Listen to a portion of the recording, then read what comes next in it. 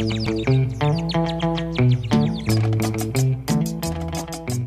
live in, in Rio, very, very close to the forest. And I like to see and, and watch and understand how, how the plant is built.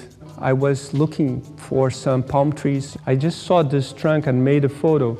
And I really liked the idea, the composition of the trunk.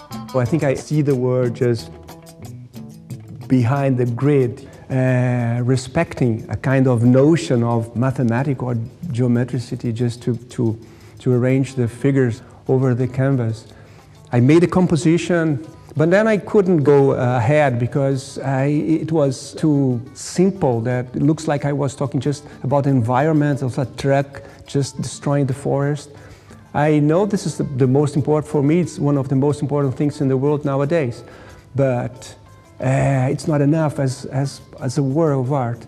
So I had the idea to cover the, the trunk with a python kene, that is the spirit of the forest, one of the most important spirit for this people. Then I found a way and keep going and working on this, and, and, and this the way it is, you know.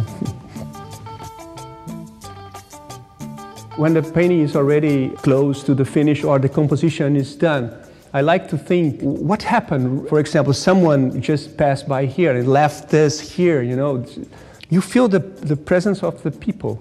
And I start to think in the connection of all the stuffs and if there's some animal pass by, the color of the, the nuts and the, the yellow of the leaf.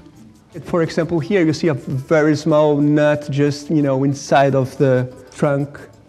I love it, you know, I love it to understand the way that things happen in uh, naturally, you know.